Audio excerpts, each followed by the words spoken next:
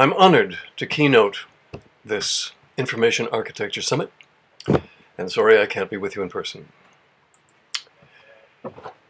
My title is New Fields and Feeled Effects. Starting a new field is fun. I've done it a couple of times, but you never know how it will turn out. Now, I'm told that information architecture is not a new field. It's new to me, uh, under that name anyway. I never heard of information architecture before I was invited to speak, so undoubtedly information architecture under that name is new or non-existent to millions of others. So I'll call it a new field, meaning that it is aspirational, struggling, and not established in public consciousness. A new field, a claimant new field, a putative new field, must compete with hundreds of other fields for respect, attention, grants, patronage, customers, office space, students, acolytes, and inheritors. Whether anybody can get a job by claiming competence in a field that is not well known is a tricky question, involving appearances, street smarts, and luck. So, what is a field? A school of thought in some zone of concern, a way of operating and thinking, professionals wanting respect in business, under a specific label and claiming special understandings, special abilities. So the political issue facing the new field and its adherents is how to establish the name and create a public image of competence, staking out an area that seems to make sense to people. But if it makes too much sense, then most people won't think the field is necessary. So there needs to be a little uh, evasive hauteur and hocus pocus, if not hokum. So publicizing and celebrating the new field in name and its claims are politically central. We could compare it to a new religion, but let's not go there. Whether a name for a field catches on or not is very political, and also very much a question of what clicks in the public mind. There have probably been hundreds of attempts to start and publicize new fields that did or usually did not catch on, partly because of the rivalries of fields that were already there. If they have to make room adjusting their borders topologically, it means smaller territory of subject and fewer students and less customers. Here are some favorites of mine that didn't catch on. Mathetics, supposedly the science of learning, but the Journal of Mathetics only printed two issues. That shows the problem. Euthenics! Anecdote. Fifty years ago, when I was teaching sociology at Vassar College, my office was in a building called, I kid you not, the Minnie Cumnock Blodgett Hall of Euthenics. The building name has rung in my ears down the decades. Benefactress Blodgett thought of euthenics as being the science of behaving right, which she expected to be complementary to eugenics, which was going to be in those days the science of breeding right. Well, I'm sure the building still stands. I don't know about the plaque, but few of us order our lives by either eugenics or euthenics. Nexialism, the study of connections.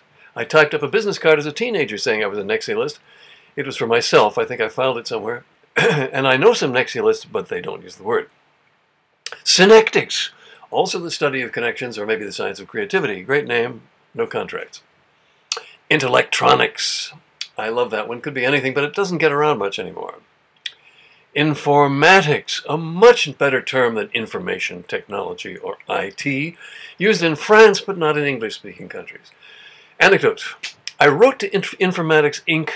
Uh, in 1963, I think it was, and asked if I could use the term informatics generically. They wrote back and said I couldn't. I didn't know trademark law, so I left it at that.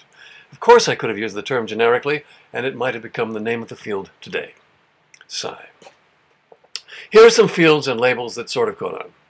Ergonomics, a technical sounding name for making things easy to use, which semicolon. Human factors, a non-technical sounding name for making things easy to use, which semicolon. Communication design.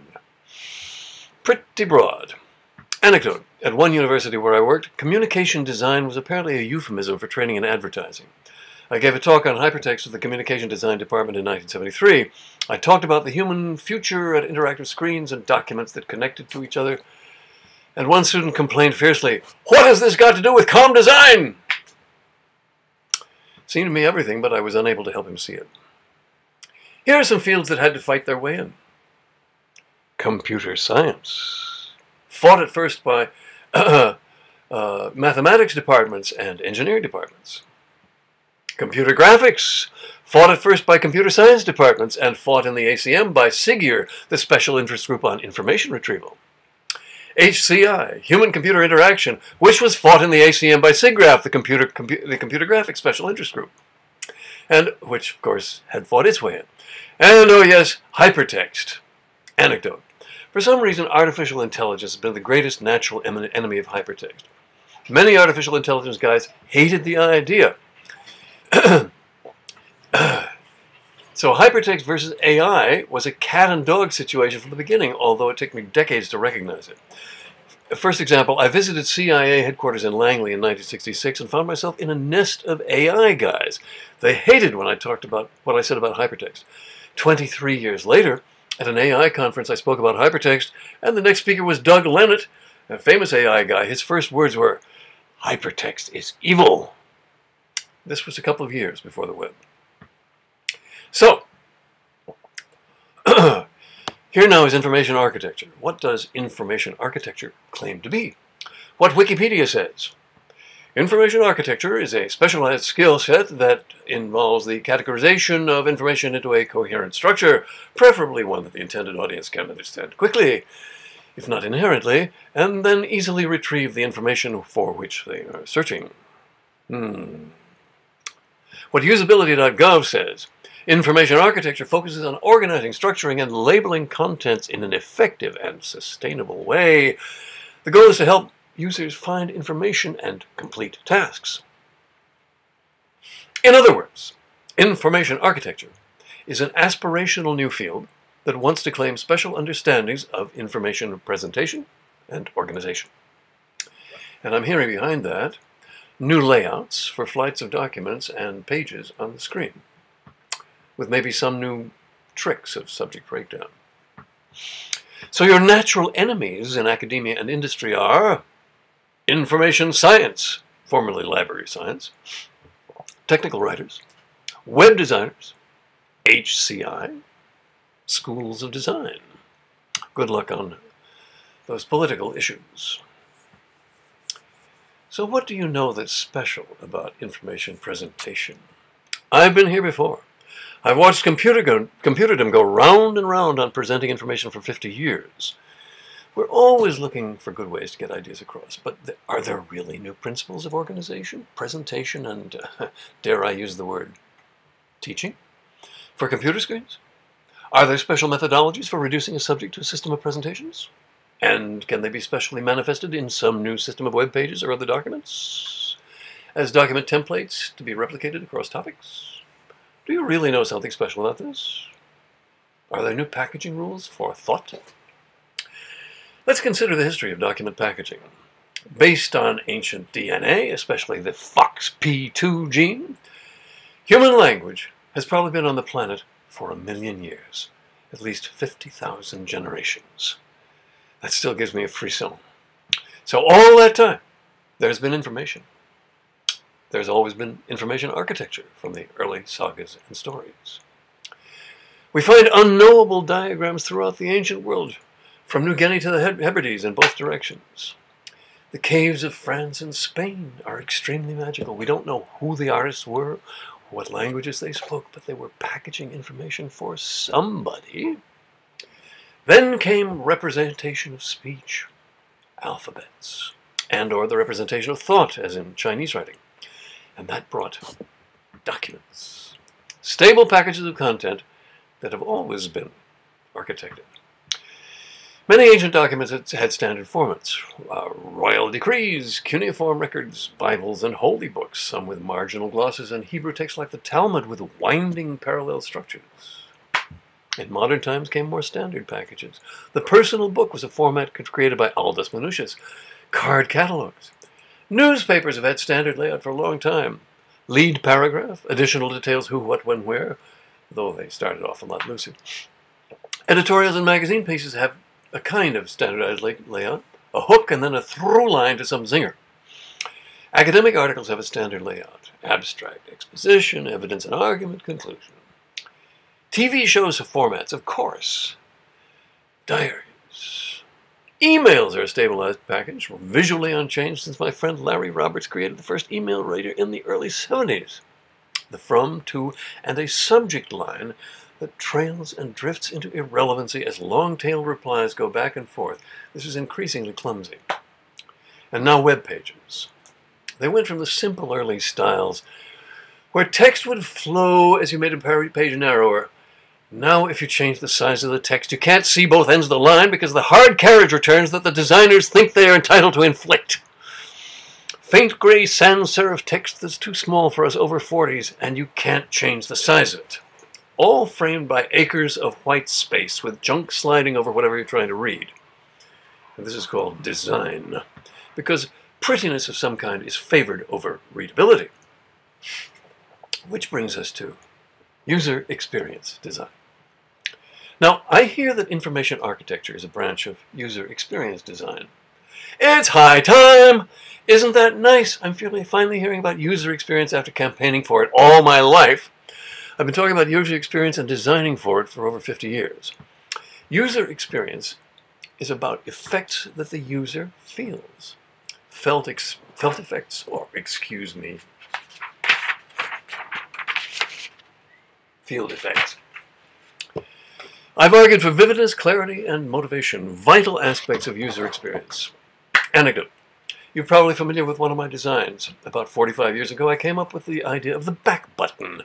But in 1968, it was only obvious. Obvious, you say, I totally agree, but in 1968, it was totally obvious to only one person in the world. My colleagues at Brown University said, users will never understand that. But they implemented it anyway, and sure enough, it was understandable. Anecdote. 30 years ago, I tried to tell them at DataPoint about screen interaction and the importance of vividly, vividness, clarity, and motivation. I took my bosses at DataPoint to a video game parlor to give them a sense of what user experience could mean in terms of vividness, clarity, and motivation. That was a little after Space Invaders, games like Pac-Man, Ms. Pac-Man, Asteroids, and Centipede pulled quarters out of people's pockets. They were vivid, clear, and motivating. But one of my bosses, who believed in the keyboard command line, dismissed the idea of vividness as operator entertainment. He did get it. He did not get it, and many people still don't. Information is a slippery concept. Some say knowledge, but knowledge means, means truth. Let's not go there. Most of what we call information is assertions made by authorities, companies, and people filling out forms. Information is both slippery and fluid. Being fluid, it can be poured into any vessel. You can put the same content, more or less, into bullet points, a documentary film, a poem, an opera, a ballet with some loss of detail, an app, or simply some piece of writing. Now, I'm a writing chauvinist. I believe that good writers, Kipling, Twain, Ludlum, journalists, novelists, screenwriters, know something about architecting information. When writers, authors are information architects, each document is a mix of assertion and presentation. And it's about the connection of ideas, representable in so many ways. The complexity of the writing process is not well understood. No presentation structure is right or wrong except that it does the job getting the ideas across, leaving the recipient in a positive frame of mind. The process of writing is one of abstracting and modeling the subject as related to the mind of the reader, spicing it with interest. But that isn't a stable or transposable packaging methodology. Let's talk about layouts and formats. I suspect that information architects think a lot about stabilized formats with corresponding parts. This is a fusion of clarification, standardization, aesthetics, and branding. I suspect a mix of motivations here. A, wanting to get meaning across, and B, wanting to create distinctive corporate branding and style are not necessarily contradictory but go in two directions. I'm dubious about any universal standard layouts, styles of presentation come and go, but I'm guessing that information architecture is not about standardization more about A, some people think they can create new universal elegant formats, and B, some people ready and eager to create house styles, which is an eager, a different agenda. Now, I am not a disinterested observer here. I have my own document agenda. I've managed to talk a long time today about documents without mentioning my own system Xanadu. Just because it's too different. Incompatible with the web, off the map of conventional documents which imitate paper. .txt, .pdf, .html, they're all the same to me. My document world is about parallel pages with visible connections.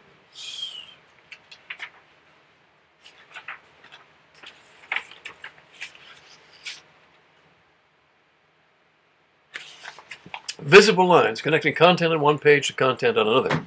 Every quotation connected to its source. Talmudic interconnection for the interactive screen. I hope to have that working one of these years, but it's long and difficult. Simple, but diverse in its requirements. Wish me luck. Okay, quote closing remarks, unquote. Note that schools have a standard format and methodology, and the one thing they achieve reliably is to make every subject uninteresting. Whereas the principles of writing, showing, and teaching are what they always have been. Generate interest and involvement with clarity and orientation. I sincerely hope that information architecture can make education better. It sounds like you think it can. Thank you.